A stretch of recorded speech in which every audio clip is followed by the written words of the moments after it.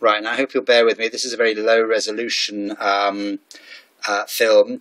Um, just to go uh, with this listing. This is a rather neat dinky. It's used, but it's not particularly damaged. Um, it's a sort of Art Deco style ceramic and sort of tin, or actually tin on brass sheathed um, uh, ashtray. The the um, interior there is slightly more turquoise than it appears here. There's a bar there with a rest for a cigarette, and this, as I say, is tin over what appears to be sort of sheet brass. But it's an unusual, quite a sort of stylish pretty much obviously deco item.